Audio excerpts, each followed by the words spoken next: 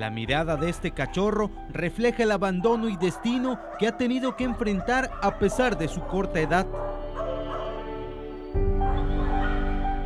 A pesar de no vivir expuesto a los peligros de la calle, está tras las rejas del Centro Municipal de Control Animal en espera de recibir amor de una familia. La cuestión es que esa persona, la gente o la, persona interesada en adoptar un, perrito, ¿no?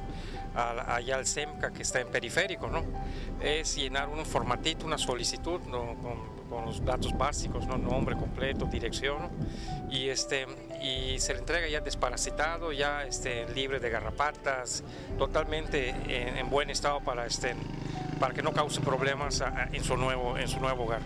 Este sitio a cargo del Ayuntamiento de Mérida cuenta con espacio para 60 perros y gatos y su principal finalidad es que estos amigos de cuatro patas sean adoptados.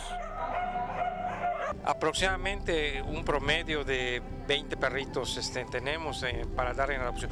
No todos son sujetos a adopción. O sea, nosotros no podemos entregar un, perro que no es, o sea, por su...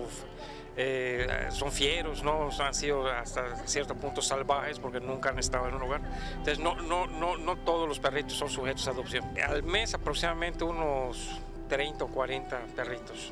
Sin embargo, no todos los días son grises y para muestra una acción, la suerte fue diferente para Niña, una boxer de 5 años que por cuestiones del destino llegó a este lugar. Pues la verdad es que venimos aquí porque nuestra hermanita pues, vino a visitar y se dio cuenta de que había un perrito y pues le, le llegó al corazón y nos pidió que viniéramos por ella.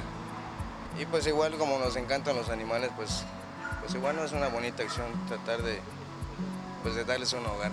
Pues yo creo que como eh, en todo, a cualquiera nos ha pasado. Eh, pues de repente vemos un animalito y pues su mirada, ¿no? Vemos algo especial en él y pues eso es el, motivo, ¿no? Por el que venimos y pues tratamos de rescatar a la perrita, a la niña.